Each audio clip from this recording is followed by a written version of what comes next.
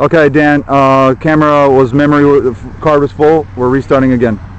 We're gonna do a couple laps so you can see uh, there's no turn fin and uh, how the rudder and the handling of the hull actually is really good at even doing ovals if you need to.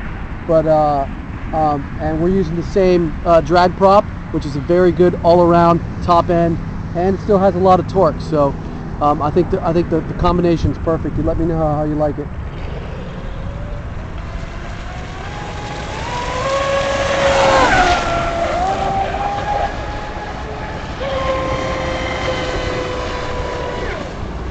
Let me zoom out a little bit here.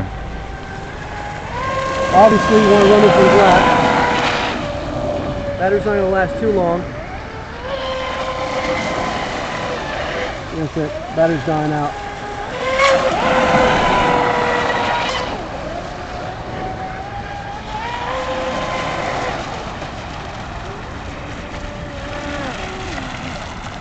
You can see the handling's uh, pretty good. And uh, we're going to bring it in. Don't stop the video. I want to bring it in to show them that's his boat without the turn fin.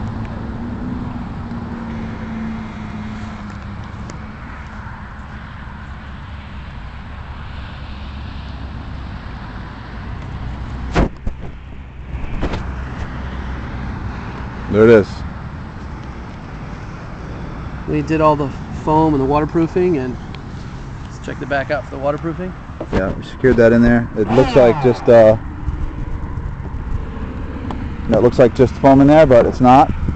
It's been uh, been put in there to make sure it actually will help it float and keep the water out 100%, and did a full foam job around there for you. Keep the water out.